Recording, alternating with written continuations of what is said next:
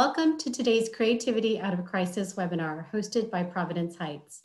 If you are having any technical difficulties during this webinar, please email info at providenceheights.org and someone will assist you. My name is Polly Showalter and I represent the Executive Board of Providence Heights, a Christian nonprofit organization in King County who believes that every individual should have a home and thrive in pursuit of God's purpose.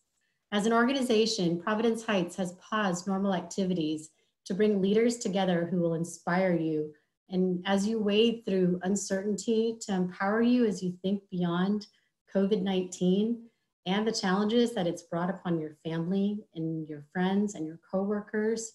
And lastly, to encourage you towards creativity and hope. Soak in the stories and let this be an opportunity of growth. In lieu of the high profile nature of our speakers and gratitude for your time for being with us today, we are going to do our best to try to keep this webinar to 45 minutes. If you have any questions, please use the Q&A box down below on the lower portion of your screen. We will do our best to answer your questions after the webinar. We will be joined by some extraordinary leaders today. Together, they represent government, business, and nonprofit perspectives. Mike Lindell, CEO of My Pillow, will talk to us about business innovation. Congresswoman Cathy McMorris Rodgers, representing Washington's 5th District, will share a message of hope, and the very talented Broadway actress and vocalist Laura Michelle Kelly will conclude our webinar with a song of worship. Now it is my privilege to introduce Christine Soule, the CEO of Providence Heights and the visionary behind bringing us all together today. Christine has many notable qualities, but one that truly encapsulates who she is would be her ability to spark enthusiasm into the lives of those around her. And today she is going to motivate us to overcome whatever it is that's holding us back from shining our light during this crucial and opportune time. Christine wants every woman in need to have a home. But do you know what she wants more than that?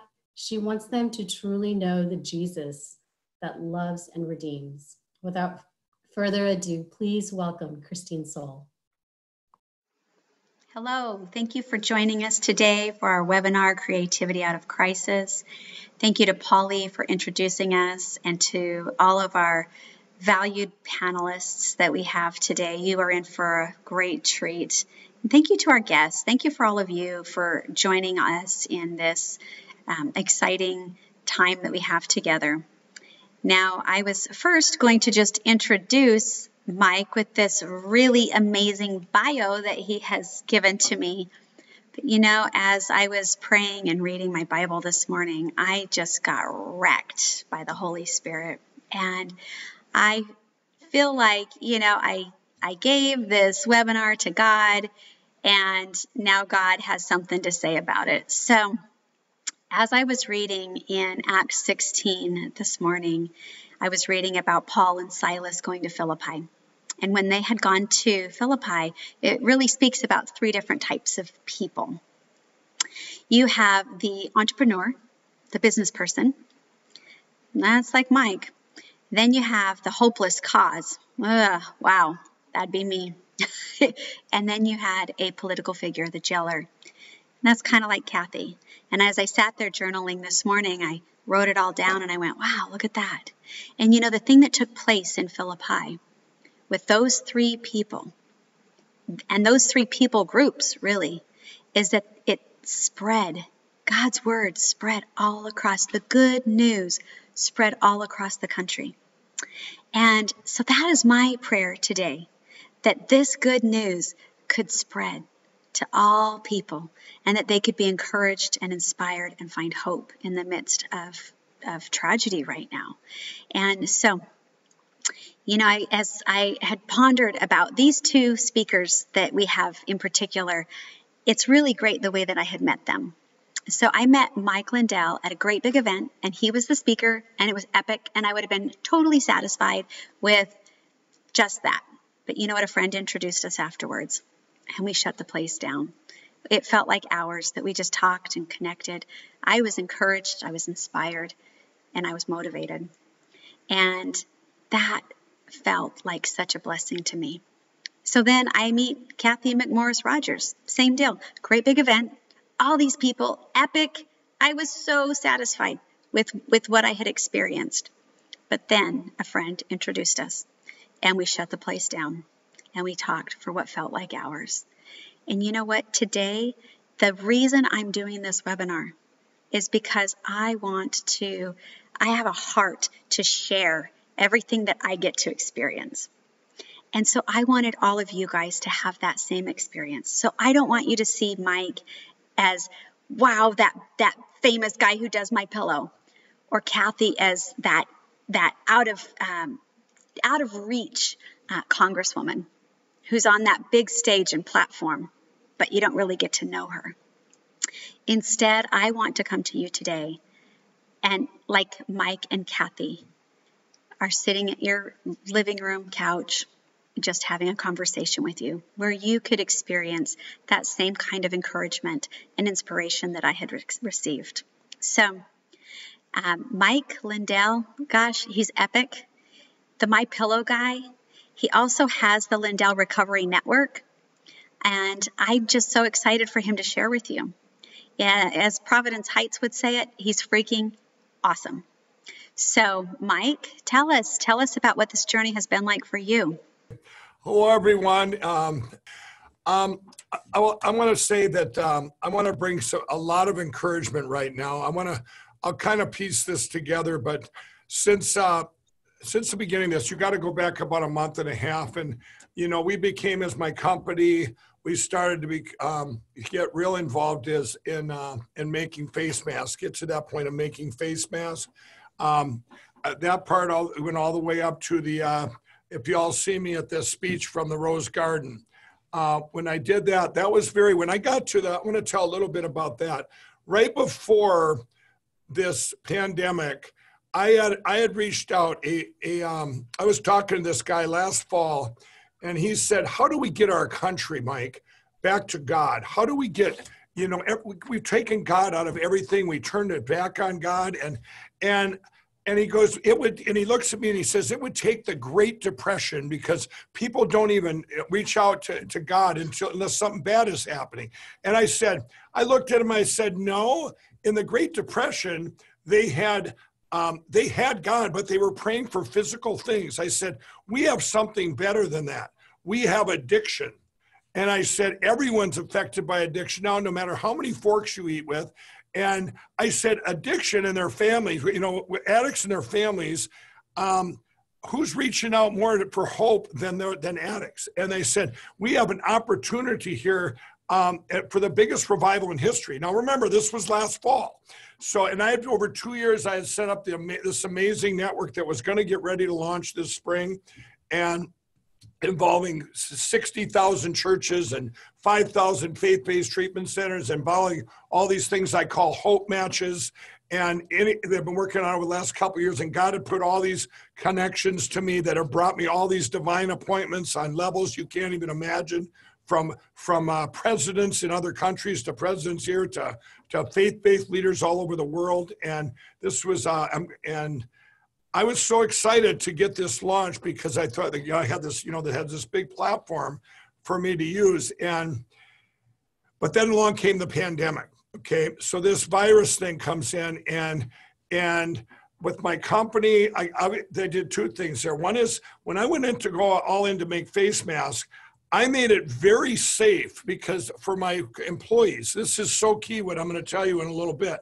That I made it so safe. That came first is because I wanted my employees, you're going to go against the grain. I knew this was coming where all of a sudden when we're shut down and people are getting scared, workers aren't going to want to come to work. And I don't want them coming to work if they're not safe. So I had to weigh these. Me as a, as an essential business being open, I'm going okay. Well, we're going to do something before this before recommendations even came out.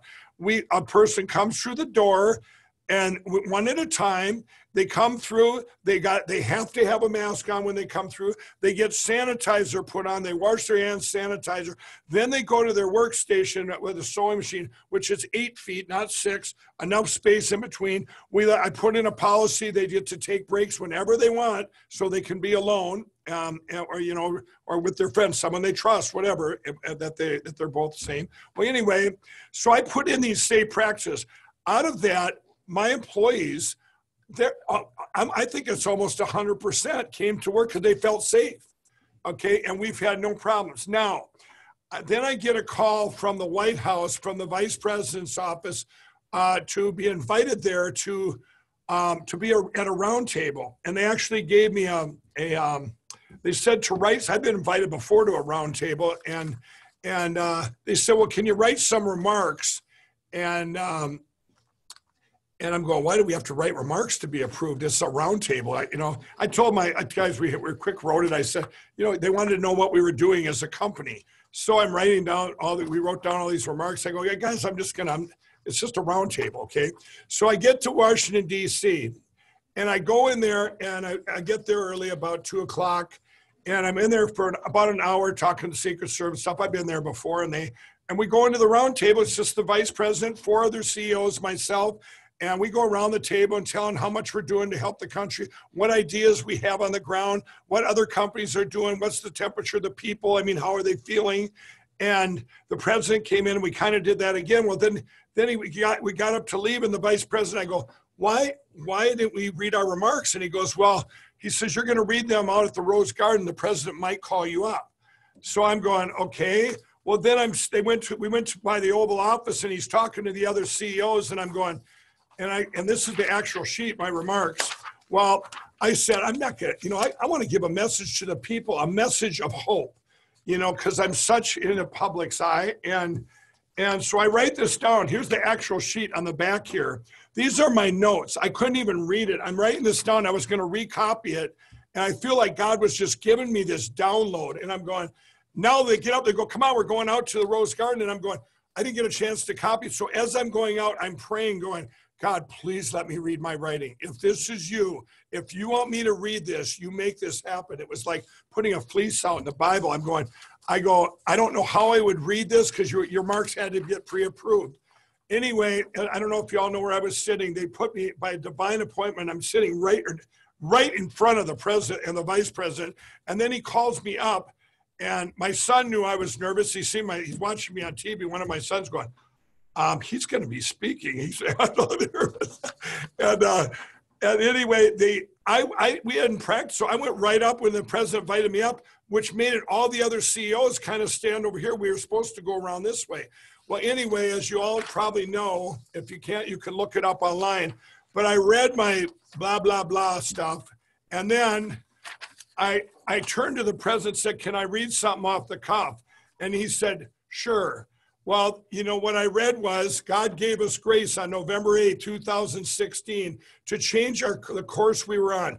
God had been taken out of our schools and a nation had turned his back on God. I encourage everyone to, to take this time to get in the Word, read our Bibles, and spend time with our families. And then I'm following the arrows down. I said, and in a short few years, our president gave us so much hope just a few short months ago with the best economy, lowest unemployment, and wages going up, etc.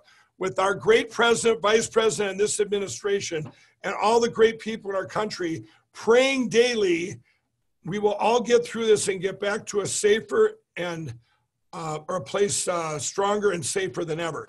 Now, Everyone knows that went viral all over the country. They're selling out Bibles everywhere, even even uh, um, a place I don't like. It starts with tar and ends with get Target. They're selling out children's Bibles. It's like crazy. I always give them a hard time because they have too many bathrooms. Um, but they, uh, but anyway, I um, I went back into the White House, and the Vice President same to me said to me, he goes, Mike, you have opened up the heavens, and we talked about. I said, yeah we are in the greatest revival in history. This is not what I talked about with addiction. This is we're all everybody's at home looking for hope. And and I said on a program, and I'm going to finish the White House thing. The president, vice president says, Mike, you've opened up the heavens. And he said, I'm thinking, what's, you know, you know, I, I didn't even dawn on me how big it was. It went world, around the world, right? Well, I sat there for another two hours with the president. And when I left the White House, I got my phone back. I had 750 text messages. I'm going, that many people have my phone and phone number. And, and, but when I left there, now this is what I want everybody to hear. I left there with, I'm an optimist, like you wouldn't believe. Okay. I left there with 10 times more optimist, you know, being more optimist.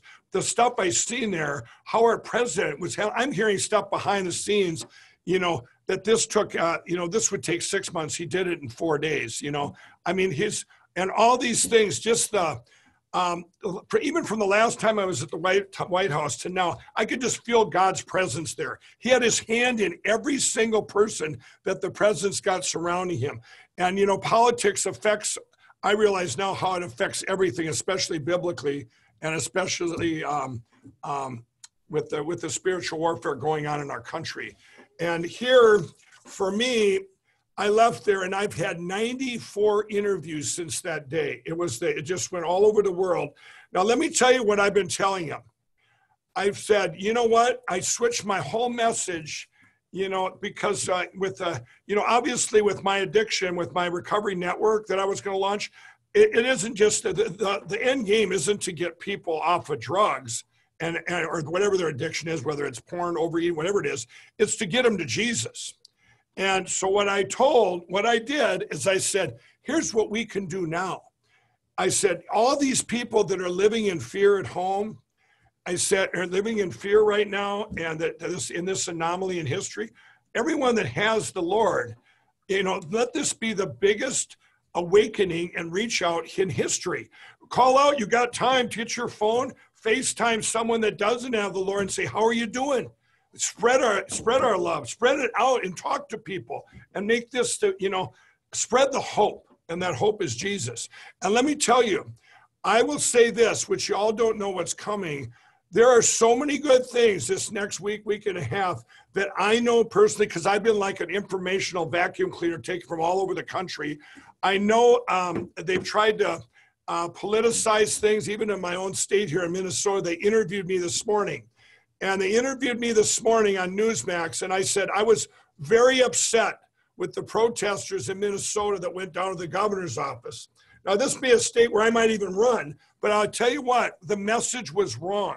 They went down there with no masks. They, some of them made it into a Trump rally or a Trump, you know, whatever. This isn't a political thing, we're in. What I said, the message should have been is they should have went down there with masks on, six feet apart, and said, please open Minnesota and we will do it safely. Tell us what we need to do, Governor. Put your seal on our businesses of how we can, you know, open these safely. We have businesses open now, and a lot of them aren't even doing safe practices because they don't know.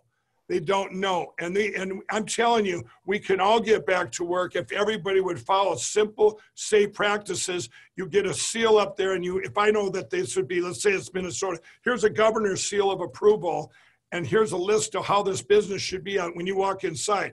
A mask, anybody can wear anything over their face, and I'm protected from you. You go in there and you get in there, and uh, I, if I see that seal, I know I'm going to be safe. But if I go in there and nobody's wearing masks, it's like business as usual, at least in the beginning. Social media is going to destroy that business. I've been I've been to other states where you go into some places and it's just beautiful protection. I feel safe going anywhere. You know, they could open them up right now.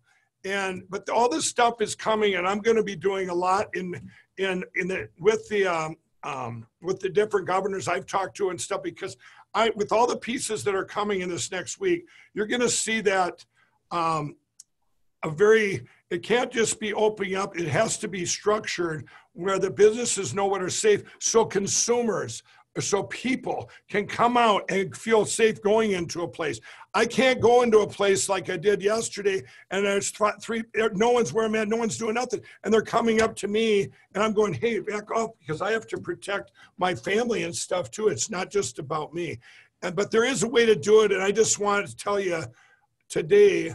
Um, and I told, you know, I told everyone in that speech, you know, it to keep in prayer and stuff. But I'm telling you, there's so many good things coming, and the answers are right in front of us. But there's so many things being done wrong, and and it just needs to have one state, I believe, set an example that this is how you open because there's states that weren't even closed down like Iowa, and there's got to be things that are working there that aren't working there. But uh, and uh, that's all you know. That's what I'm saying, and I think. Uh, but the big thing is, I really believe we're in the biggest revival in history, and we have an opportunity here um, to bring so many people and God back into our country and into our lives. That's it. Mike, that was amazing. Thank you so much. You can preach. And you are so right. Revival is coming.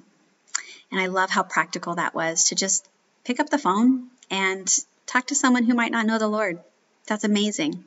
Thank you for your time, Mike. Thanks for having me. And I'm telling you, we're going to get through this. It's going to be amazing. It's going to be different, but it's going to be amazing because millions and maybe even billions of people are going to come to Jesus because of Amen. this across the world. Now, I just want to share a bit about who Providence Heights is.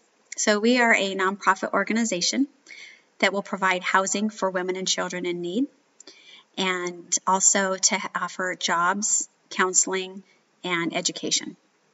Now, we're different in the fact that we have a real sustainable model. And what we're going to do is offer retail space, office space, and uh, apartments. And with that, we'll have um, three different things that we can be able to um, offer Providence Heights. And that is that we can offer jobs for the ladies, entrepreneurial skills, and then we're creating a revenue source from the retail office and affordable housing that will then create a revenue source for the facility.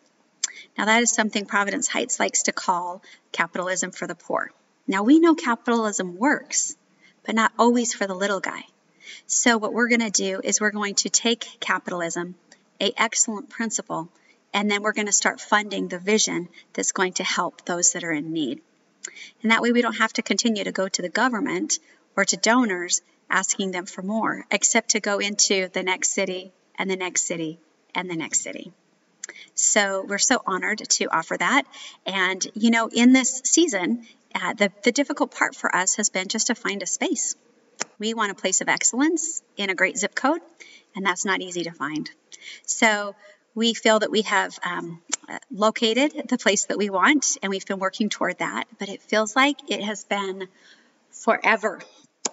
And in that season of waiting, I was just crying out to the Lord, and I said, God, you know, I don't mind waiting.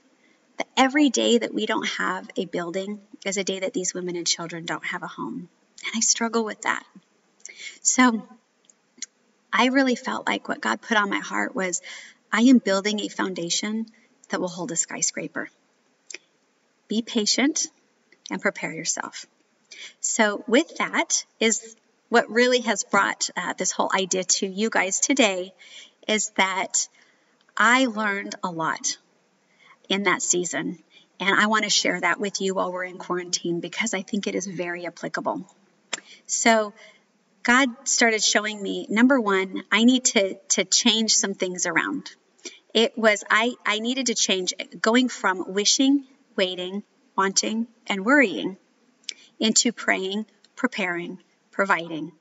And as a result, it's just going to change your perspective.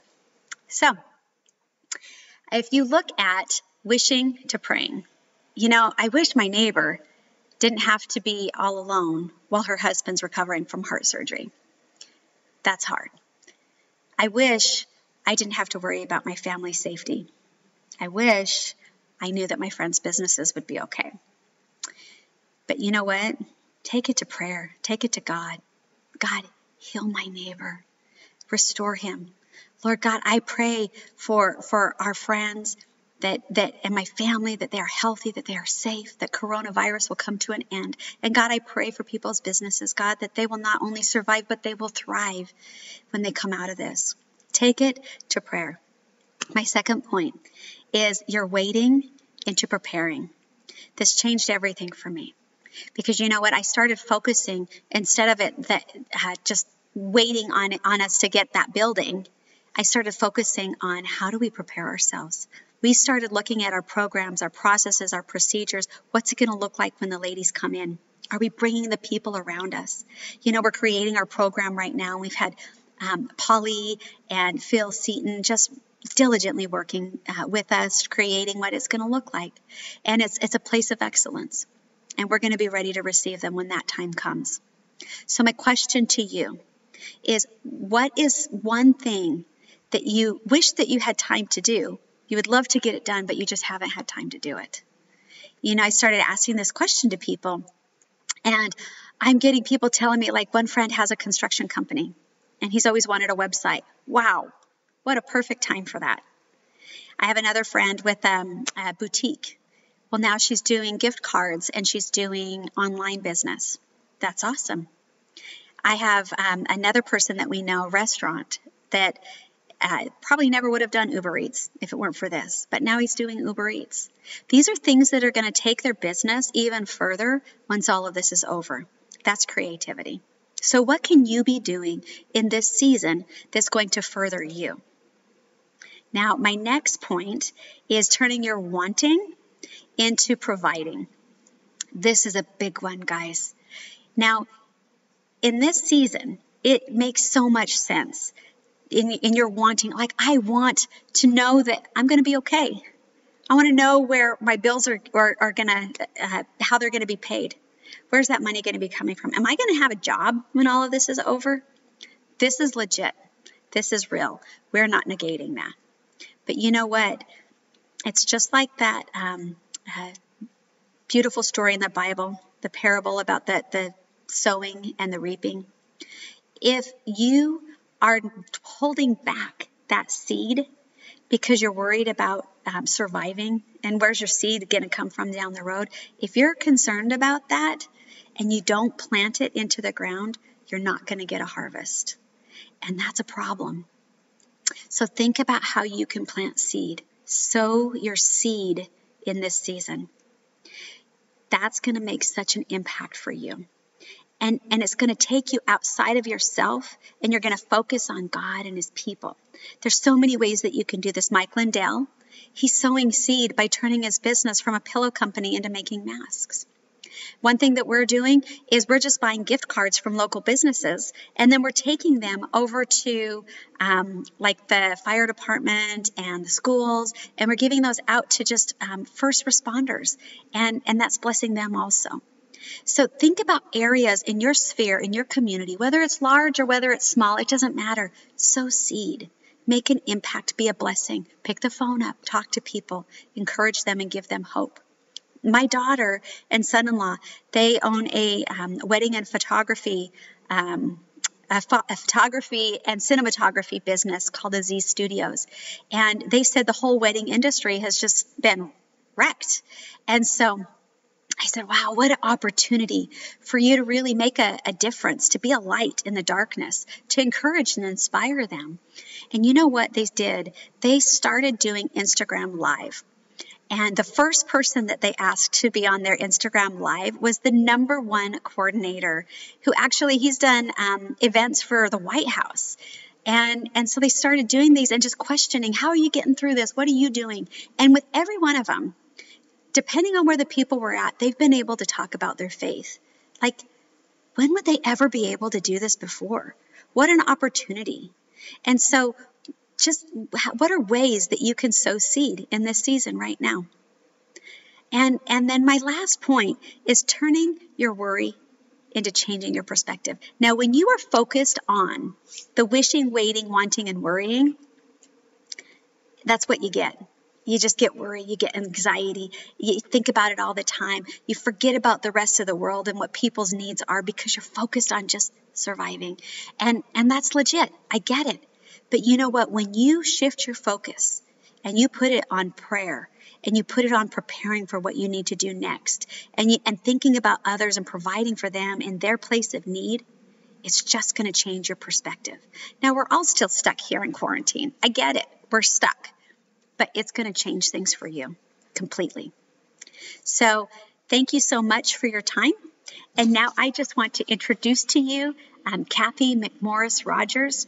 So this is her eighth term representing the 5th District in Washington. She's a senior member of the Energy and Commerce Committee and leads on top Republican on the Subcommittee on Consumer Protection and Commerce. Her subcommittee has jurisdiction over most issues that are key to America winning the future and leading in the global economy. She is a top voice in innovation, energy, and technology. Policies like privacy and artificial intelligence and much more. As Cathy says, America is the best place in the world to innovate, save lives, and raise people's standard of living. Christine, thank you for your words of inspiration and hope. That was excellent. It was excellent. It was great to hear from Mike. I so appreciated your focus on really this being a time of prayer. You mentioned I'm in my eighth term in Congress. I've been there a while, but it was a couple of years ago that I was really convicted as to the importance of making prayer my number one priority. My number one priority is to pray and to bring people together to pray, and especially now to pray for those God ideas. And that's what you were talking about. This is this is such a season where God can speak to us about the God ideas. The God ideas are the ones that change the course of history. Good ideas are good, but one God idea is worth more than a thousand good ideas. So this is a time for us to be praying, to calling out to God, for Him to speak to us about what those God ideas are. I really appreciated what Mike had to say about revival, too. That's been part of my prayer. It's a prayer for revival, a new obedience to God. America was a God idea. And for us to be praying for the men and women in Congress, Republicans and Democrats, that they will seek God first, a new obedience to God, for pastors in this country, for each one of us individually, to really be seeking that revival in our own hearts, that Pentecost, that that will be a new obedience to God and what He would have for us. So, this webinar, in my opinion, could not come at a more crucial time. Yes, there's a lot of hardship, there's a lot of loss right now. And you are absolutely right that we need hope. You know, fear shuts down the creativity. We need hope right now. We need to hear the stories of American ingenuity, American innovation. I hear it every day. And, and it does give me hope as people are coming up with solutions that are going to save lives, that are going to provide the certainty that we need to reopen the economy, that give people hope and confidence and the ability to heal and to heal our bodies, our minds, and our souls. So, this is the greatest public health crisis, the greatest economic crisis of our lifetimes. It's going to be the challenge of this century. But through it all, people are coming together and they're stepping up. And we need to celebrate that. We need to highlight that. So, you know, Mike shared his story about what he's doing, re- reorganizing his entire manufacturing to produce tens of thousands of masks. Thank you, Mike, for what you're doing. Thank you for your leadership, your inspiration. I hear these stories every day in my community. I hear stories of a, a high schooler with a 3D printer that is making masks now and making, you know, the PPEs, the, the personal protective equipment that our healthcare workers need. The small sign manufacturer that has reinvented his business to be able to provide those PPEs. The example of the local distillery who early on, you know, switched it all over to start making the hand sanitizer when we were running out in our stores. The, the restaurants are closed and it was a, a locally run, um, man, a family run manufacturer, a produce manufacturer in our area who jumped into action. And, and it was a farmer who recommended selling his potatoes directly to families when they normally sell to the restaurants. And it saved their business and it kept their families fed. You know, nationwide, we're seeing these examples of development of medical treatments and cures. There's no other country in the world that is better equipped to save lives. And that's why it is exciting to see these kind of solutions that are being developed. And it's really the public and the private sector coming together together to leverage the power of supercomputing and AI, where America leads to develop the treatment for COVID 19. You know, uh, I am convinced that these kind of stories only happen in America because we are guided by God given rights, those human rights of life, liberty, and the pursuit of happiness. Liberty, freedom is a God idea. and we are free to do good, not harm. Creativity comes from God the Father, the Creator. And it's those rights, it's the rights of life, liberty, and the pursuit of happiness is really that's our foundation that gives us the ingenuity, the freedom, the hope that brings us together as a community. That's where American creativity and innovation is unmatched. So, you know, during this time, I have been reminded of what Franklin Graham said when he came to Spokane almost two years ago now. It was in August of 2018, and he held a, a, a gathering to pray, to pray for America. And that night, I remember him saying, he said, you know, the Republicans can't solve it. The Democrats can't solve it. Only God can solve it. And right now, this is not about Republicans versus Democrats. This is really about us and the and the belief, the recognition that God is with us in everything that we do. I thought Ivanka Trump had a great message when she reminded us all.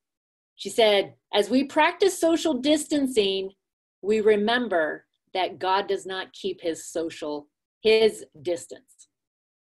So she's right. And we need to keep praying. We need to keep praying for those God ideas. We need to keep praying for wisdom and revelation and comfort because this this really is a time of uncertainty there's a lot of disruption but i'm speaking every day with hardworking men and women who want to keep their families healthy and are eager to get back to work so we got to counter the fear with hope and with love so where there's a sense of despair where there's a sense of fear the fear of the unknown the fear of the coronavirus, the fear of more isolation, the fear that you know taking a risk in the future to start a business, a small business, a, a restaurant won't happen again.